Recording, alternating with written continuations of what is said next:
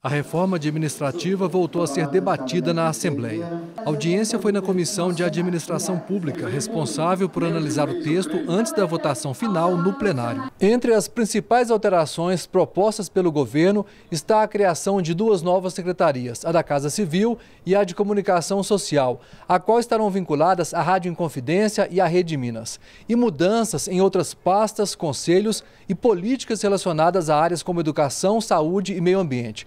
Segundo Romeu Zema, as modificações buscam aperfeiçoar e tornar a administração pública mais eficiente. O Legislativo fez mudanças no texto do governador, entre elas medidas para garantir as políticas de segurança alimentar na Secretaria de Desenvolvimento Social, a autonomia das universidades estaduais e o acesso irrestrito dos policiais ao banco de dados de veículos, se o Detran sair mesmo da Polícia Civil. Mas as deputadas que pediram a audiência e convidados consideram que as alterações feitas na Assembleia são insuficientes e criticam a reforma do governo em questões como as parcerias do Estado com organizações civis em áreas como a segurança pública. Entendemos que delegar isso para a iniciativa privada e ainda prever que o trabalhador seja cedido para essas ONGs, para que elas inclusive paguem a, a, previdência privada desses trabalhadores é um risco que corremos. Não está posto que é para o sistema prisional, mas nós temos notícias de que já há uma equipe técnica para visitar estados que possuem a cogestão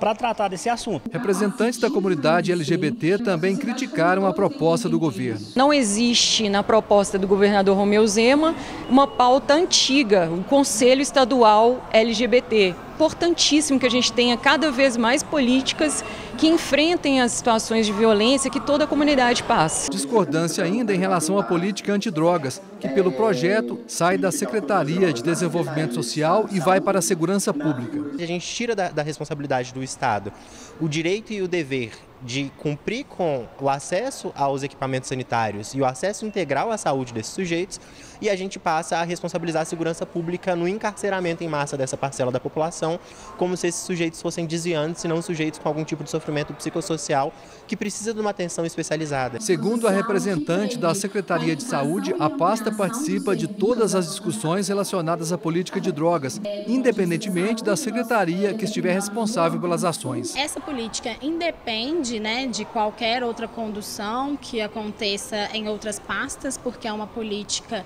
de saúde que acontece e é regulamentada por legislações específicas.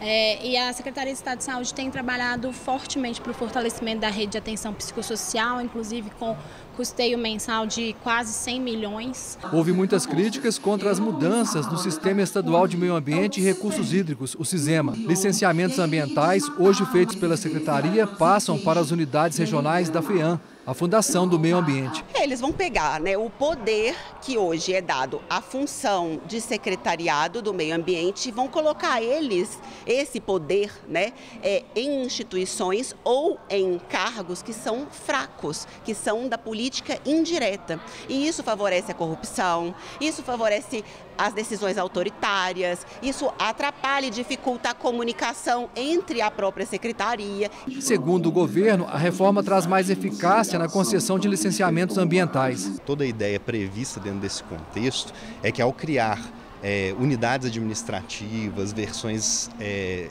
especializadas de tema, a gente consiga trabalhar isso de uma maneira mais temática, mais técnica, garantindo a efetividade de todas essas normas que regem o tema. As deputadas que pediram a audiência permanecem contrárias à reforma administrativa. A gente tem hoje uma reforma administrativa que está construindo um desmonte do sistema do meio ambiente. Essa é a conclusão dos especialistas, dos ambientalistas e dos servidores públicos. A gente tem uma reforma administrativa que está tratando né, é, os usuários de álcool e outras drogas, não como uma, uma questão de acolhimento social, nem acolhimento de saúde. Está mandando isso para a segurança pública. Preocupa que o governo está des desestruturando um processo de fiscalização de barragens. Nós estamos chamando atenção sobre isso o tempo inteiro. Nos preocupa que o governo é, esteja reorganizando a legislação, não para fortalecer o meio ambiente, não para fortalecer a fiscalização, mas para fortalecer os interesses econômicos de grandes empreendimentos minerários. E a audiência é importante porque ela, ela coloca o governo para explicar e vocês observaram, o governo nele não consegue, no conteúdo, justificar as alterações.